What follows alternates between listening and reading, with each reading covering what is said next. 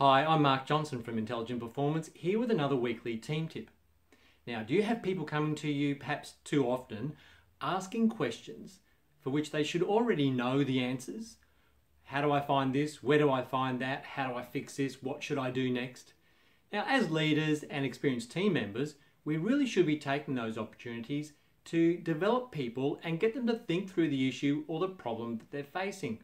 Because if we continue to provide them the answers, they become dependent upon us and they will continue to come to us for those answers.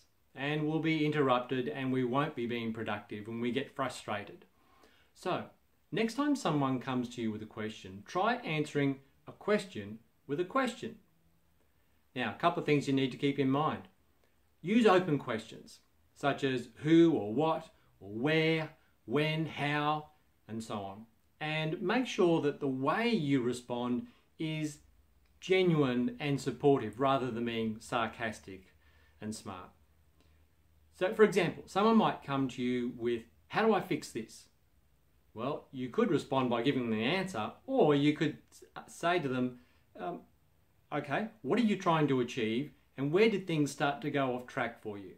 See, you're starting to get into the think through the issue, and from there you can get them to explore the options of how they might be able to fix the situation. If they come to you with, What should I do next? You could just tell them what to do next. Or you could say something like, Well, what does the procedure or the process or the policy or the plan tell you is the next thing to be doing? So they'll need to go back and find out what the answer is rather than getting the answer from you all the time. If they come to you with, Where do I find this or that? You could re- respond with saying, Well, it's over there, or go to this page on the internet. Or you could say them, Where might we keep that information? They have to find the solution for themselves.